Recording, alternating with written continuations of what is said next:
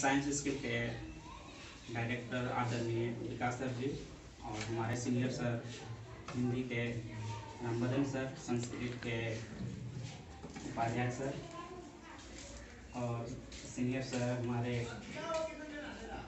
Iqbal sir और हमारे छोटे भाई के विकास सर। और मेरे प्यारे विद्यार्थियों, आप सभी को बहुत बहुत बधाई एवं शुभकामनाएँ देते हैं।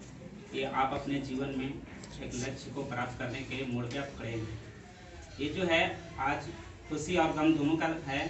खुशी इस बात का है कि आपने जो पढ़ाई की है, पूरे एक साल से मेहनत की है आपने।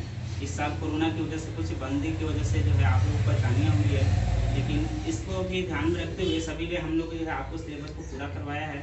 और आपको ज़्यादा एक्स्ट्रा पढ़ने की ज़रूरत नहीं है। उसको आपको जितने भी पढ़े हैं, उसको आपको मेहनत दोबारा से करना है रिवीजन करते रहना है। अभी जो आपको पंद्रह दिन की छुट्टी मिली है, इसका आप जो है, कोशिश करते रहिएगा, उसको आप रिवीजन हमेशा करते रहना है सभी सब्जेक्ट को।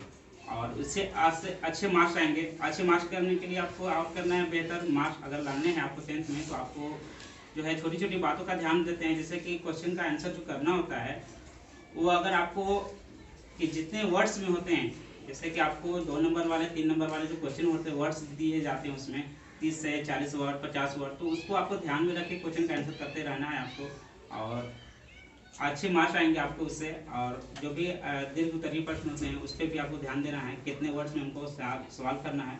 और टाइम टाइम मैनेजमेंट का उससे जो है आपका ध्यान रखना है। जो भी क्वेश्चन करेंगे, आप टाइम पे मैनेजमेंट के साथ करेंगे, और उससे आपका नंबर अच्छा आएगा, और आपको दिक्कत नहीं होगी आपको।